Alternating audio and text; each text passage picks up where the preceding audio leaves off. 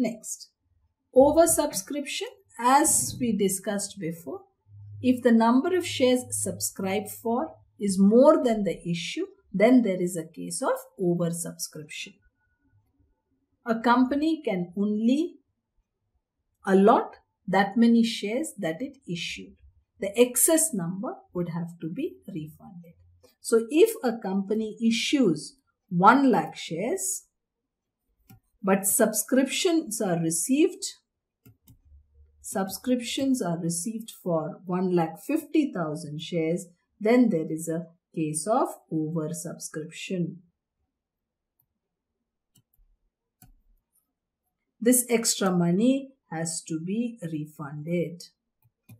We cannot issue, we cannot allot more shares than the amount of issue. What is under subscription? If in an issue of 1 lakh shares,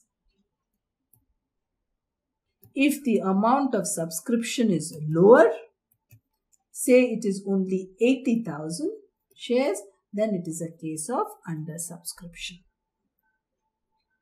According to the Securities and Exchange Board of India, according to SEBI, at least 90% of the issue has to be subscribed for.